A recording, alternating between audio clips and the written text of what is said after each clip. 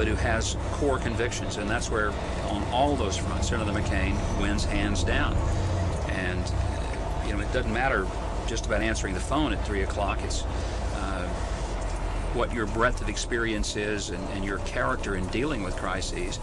And it's not just at 3 o'clock in the morning, it's at 3 o'clock in the afternoon as well. And I think people in America are going to see that uh, Senator McCain is ready for prime time.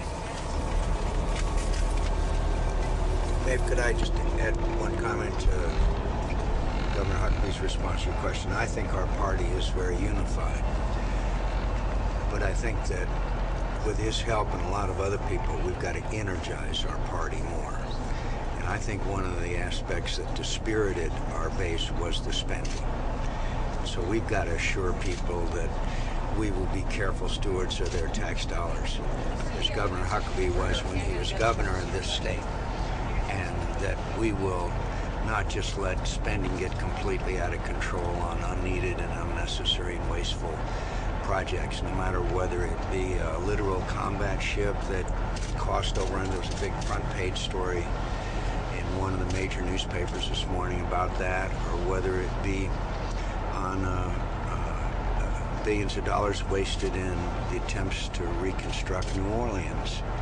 And so I, th I think that Uh, we can, that our party is reunited, but we've got to energize them. And they've got to have, believe that we're going to be careful stewards of their tax dollars. We've seen discretionary spending go up in some figure estimates in the last two, between 2000 and 2007 by some 70%.